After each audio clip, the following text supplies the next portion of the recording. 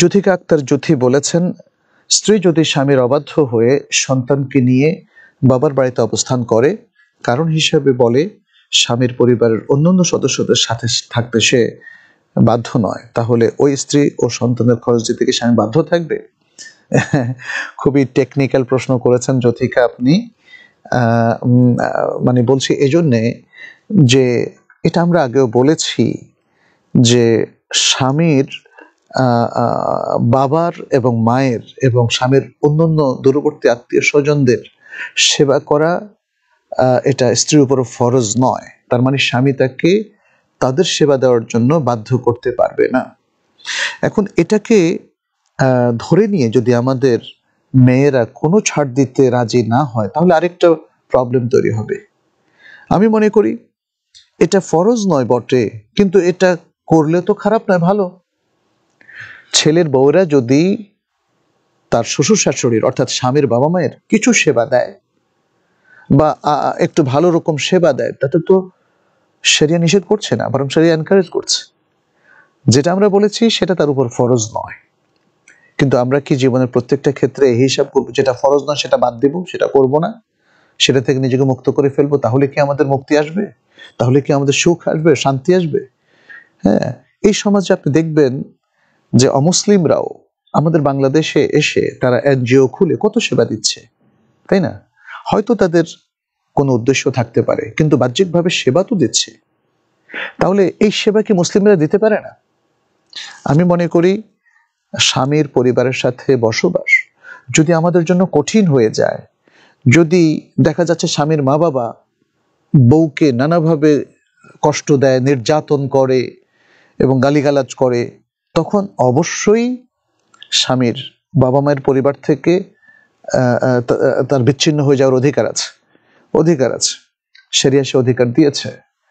কারণ আমাদের দেশের প্রেক্ষাপটে আমরা দেখতে পাচ্ছি, শ্বশুর শাশুড়িরা ছেলের বউদেরকে সবসময় কষ্ট দিয়ে থাকে। অবশ্য কিছু কিছু ক্ষেত্রে পার্থক্য আছে। যে সমস্ত শ্বশুর শাশুড়িরা দিনদার, জ্ঞানবান উদার তারা মানুষের প্রতি ভালোবাসা দেন। তারা অন্য সংসার থেকে যে মেয়েটা এসছে, তাকেও তারা সেবা দেন। তাকেও তারা স্নেহ করেন। এরকম তো আছে, কিন্তু এদের সংখ্যা কম। আমাদের সামাজিক প্রেক্ষাপটে গ্রামে, গঞ্জে আমি যেটা দেখলাম সেটা হচ্ছে অধিকাংশ শ্বশুর শাশুড়িরা তারা ছেলের বউদেরকে নানা রকম কষ্ট দিয়ে থাকে। যদি এরকম কষ্টটা দিয়ে থাকে, তাহলে তারা আলাদা থাকতে পারে। আর যদি একসাথে সুন্দর করে, সুন্দর সহাবস্থান থাকতে পারে, তাহলে সেটা থাকাটা উচিত। আর আপনি এখানে বলেছেন যে, স্বামী কি বাধ্য করতে পারে? স্বামী আসলে স্ত্রীর থেকে স্ত্রীকে কনভিন্স করে এভাবে আনতে হবে। বাধ্য করা যাবে না। আর যদি স্ত্রী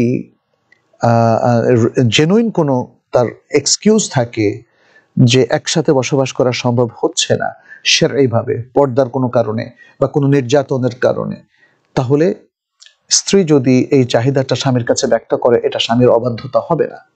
এবং স্বামীর উচিত এখানে মিউচুয়াল আন্ডারস্ট্যান্ডিং এ আসা। এবং এক্ষেত্রে আমরা বলব যে নিজের বাবা মা নিজের স্ত্রী এবং সবার সাথে মিলেঝুলে একটা সিদ্ধান্তে আসা। প্রবলেমগুলোকে সামনে নিয়ে আসা। এবং সেই প্রবলেমগুলোর জন্য সবচেয়ে বেস্ট সলিউশনটা কি এটা সামনে আসা। আসলে এভাবে এই যে সুন্দর সলিউশনের কথা বললাম এটা অনেকের কাছে গল্পের মতো মনে হতে পারে। কারণ এভাবে সলিউশন করতে আমরা অভ্যস্ত নই। আমাদের কৃষ্টি কালচার হয়তো এভাবে গড়ে ওঠে নাই। ফলে আমরা যদি আলাদা হয়ে যেতে চাই, আমরা সিন ক্রিয়েট করি। আমরা, যাদের থেকে আলাদা হতে চাই, তাদের সাথে দুর্ব্যবহার করি, তাদের থেকে আলাদা হই। মানে একটা কিছু সিন ক্রিয়েট করে প্লটটা রচনা করি, যেটা ঠিক না, যেটা মোটেই ঠিক না।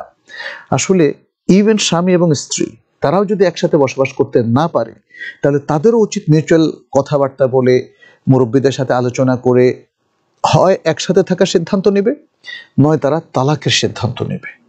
তাহলে মানে পুরো বিষয়টার জন্য কোনো সিন ক্রিয়েট করা বা প্লট রচনা করার জন্য অসঙ্গত আচরণ করা, অন্যায় আচরণ করা, এটা সেরে অ্যালাউ করে না। আমি আশা করি যে আমার এই ডিসকাশনের মধ্য দিয়ে একটা আইডিয়াল ফ্যামিলি সুখী এবং সুন্দর জীবন যাপনের জন্য যা করা দরকার, সেই হয়তো রেকমেন্ডেশনগুলো আপনারা পেয়ে গেছেন। আর যদি একসাথে থাকতে হয় তাহলে কি করতে হবে? আর যদি আলাদা হতে হয় তাহলেও কি করতে হবে? সেটা আমরা পেয়ে গেছি। এবং এটাও পেয়ে গেছি যে শরিয়া বাধ্যতামূলক না করলেও অনেক কাজকে প্রশংসার দৃষ্টিতে দেখে এবং তার জন্য অনেক সওয়াব রাখে সেটাও আমাদেরকে বুঝতে হবে, সেটাও আমরা বুঝতে পেরেছি। এবং সেরকম একটা বিষয় হচ্ছে যে স্বামীর মা বাবার সেবা করা। ধন্যবাদ।